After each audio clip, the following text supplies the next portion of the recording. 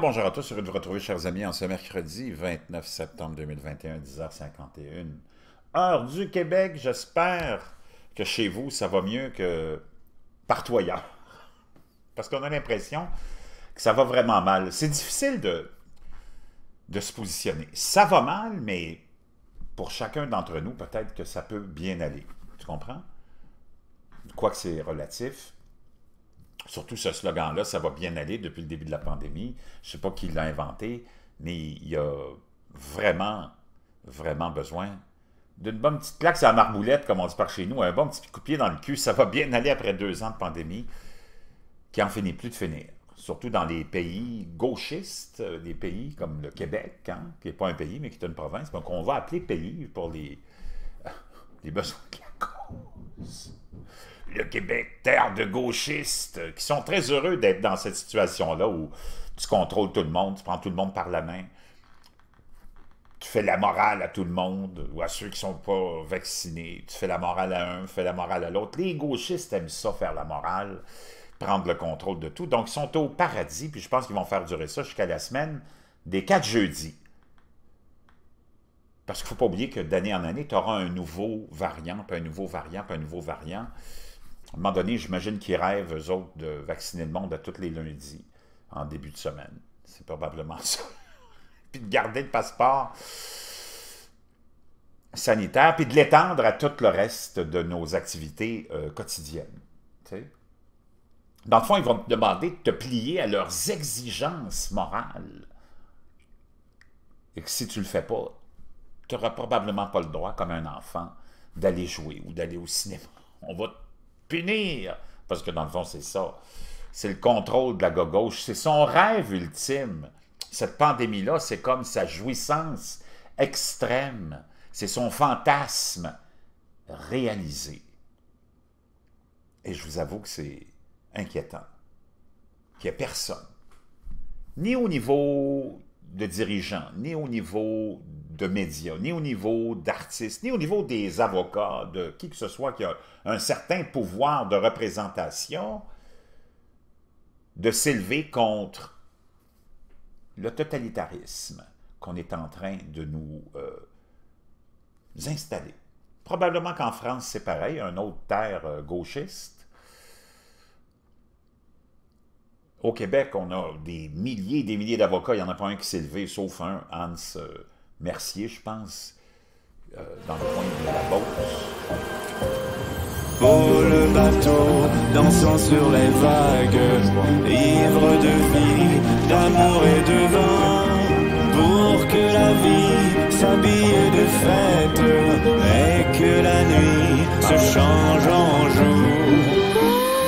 Tu devrais avoir horde d'avocats qui sont toujours là à être présents Ikea. pour toutes les Que de causes, belles hein. possibilités. Dès qu'il y a une pièce à faire, peut-être qu'il n'y a personne qui veut payer, je ne sais pas.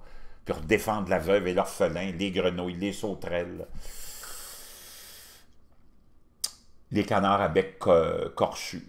Mais là, tu les entends pas au Québec. Je ne sais pas s'ils ont été bâillonnés par le...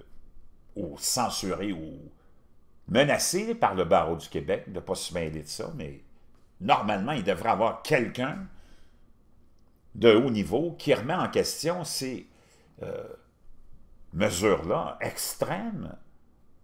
Je comprends que le virus, en 2019, début 2020, a fait des ravages incroyables. C'est un virus pulmonaire euh, sévère, le SARS-2, qu'on a appelé COVID-19 pour COVID-19 pour l'année de son apparition 2019, pas parce qu'il y a eu 19 COVID avant, mais c'est fascinant de voir qu'il n'y a personne, personne qui a le courage de s'élever contre tout ce qu'on est en train d'établir comme euh, mesures restrictives et vraiment euh, exagérées. Maintenant, la COVID-19, selon toute vraisemblance, est disparue. On est avec une variante maintenant, tu en as quelques-unes. Tu en auras toujours des variantes. C'est comme si on voulait perpétuer ça jusqu'à dans la semaine des quatre jeudis pour faire passer toutes sortes d'autres politiques.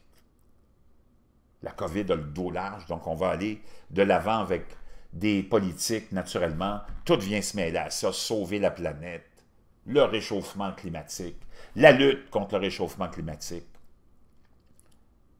et on en met et on en met dans euh, la valise du COVID. Les démocrates font la même chose aux États-Unis, veulent passer des budgets de trilliards et de trilliards d'infrastructures, d'infrastructures humaines. Maintenant, les infrastructures, ça comprend, selon les démocrates, les infrastructures humaines, les humains. Hein? Toute l'agenda gauchiste de justice sociale. Ça, c'est une chose dont je suis vraiment plus capable d'entendre parler. La justice sociale, les justiciers sociaux. Je ne sais pas si on a pris le modèle d'Hollywood avec les justiciers, les capitaines américains, Spider-Man et autres justiciers, hein, mais ça va...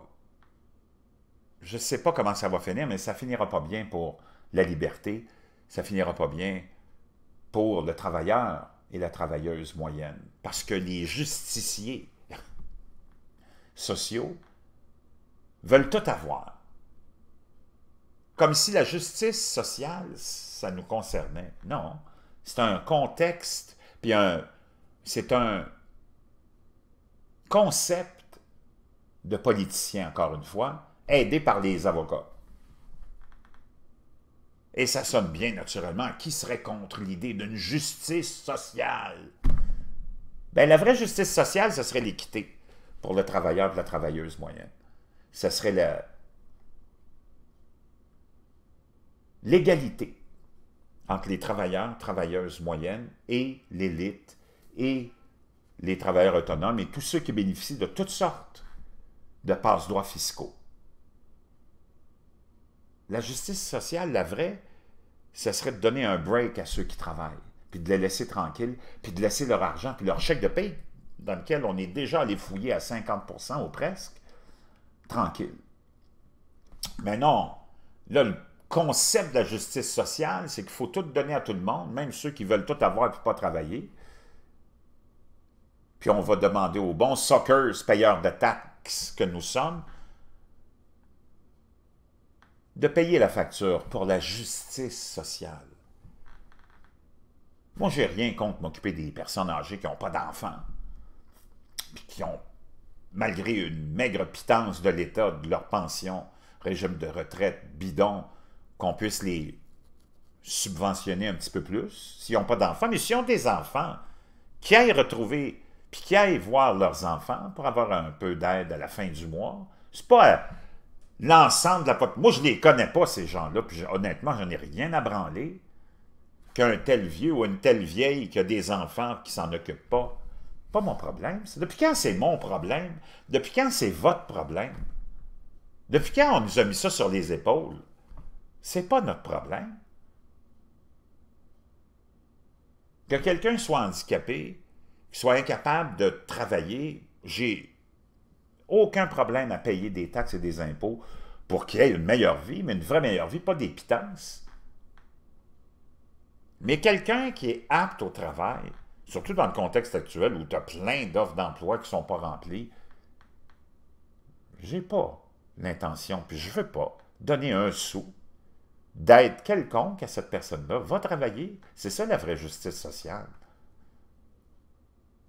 T'en veux plus? Ben, si t'as pas assez d'un salaire, va te trouver un deuxième job. C'est pas à l'ensemble de ceux qui travaillent de te payer tes caprices Trouver un deuxième job, c'est ça la vie. Pas facile, puis c'est pas difficile non plus. Mais le concept de la justice sociale commence à me faire vraiment suer. faut aider un, faut aider l'autre. Faut... Moi, j'ai rien contre qui que ce soit. Mais à un certain moment, il faut que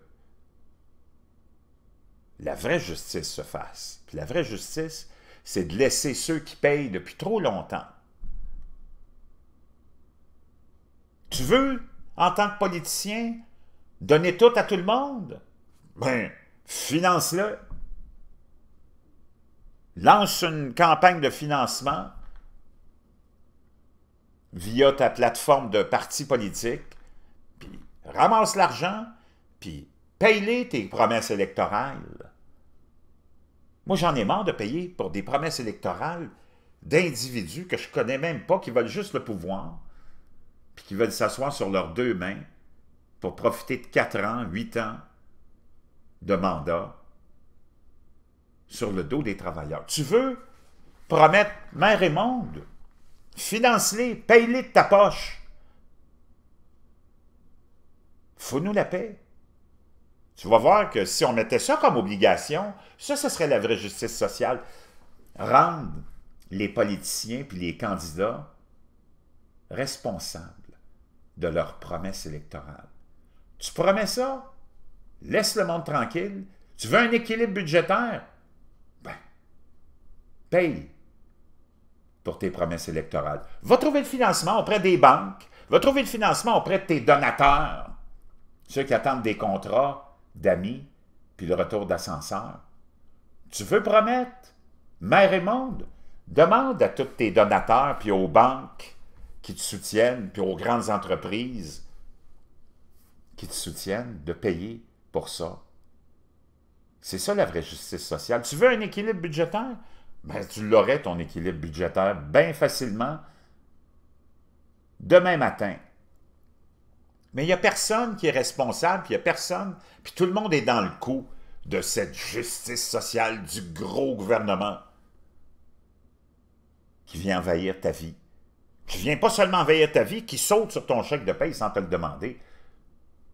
Il n'y a personne, vous, qui vous a demandé si vous étiez d'accord avec telle ou telle dépense, telle ou telle nomination d'un ami, d'un premier ministre ou d'un ministre qui est nommé oh, à la tête de l'Auto-Québec, oh, à la tête d'Hydro-Québec avec des 400, 500, 600 000 dollars de salaire, plus des bonus, alors qu'ils n'ont rien, mais rien accompli, mais ils ont des bonus. On va dire une chose, ça changerait la politique.